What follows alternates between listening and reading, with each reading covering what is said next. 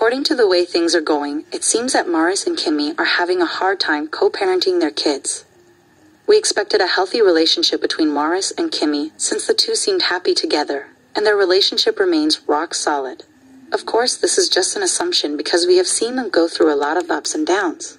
It also seems that Maurice is not adding anything of value to her of late, as their family drama intensifies, tossing Kimmi into more stress. The couple married on camera on the first season of LAMH after dating for seven years. This was Kimmi's first marriage and Maurice's second, making him a bit jaded when it comes to the potential challenges of commitment. Though the couple do not have a child together, they co-parent the children they each had before their marriage. With co-parenting comes challenges, especially now that Kimmi is battling breast cancer. It seems that Maurice's son is on very bad behavior putting the couple at tension with one another. This prompted Maurice and Kimmi to sit down with Monster regarding discipline, especially doing house chores, as well as improving his grades. Kimmi voiced her opinions that Maurice need to spend more time together with Monster, so that Monster can be free and open up more to him since it seems that he is still holding in stuff.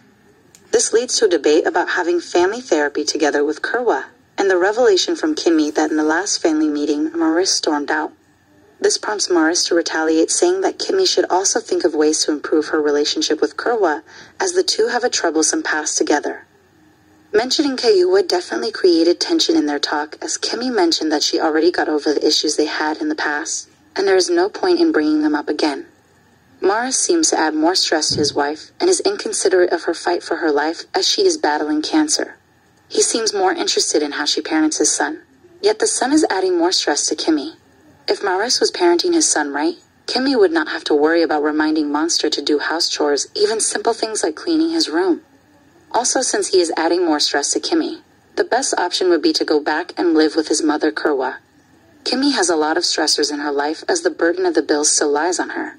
Anyway, it seems that she is allowing all this to happen to her, as she can easily say she is not dealing with Monster anymore and demand that he needs to be sent back to live with his mother. She could also decide to walk away from all this and end this marriage.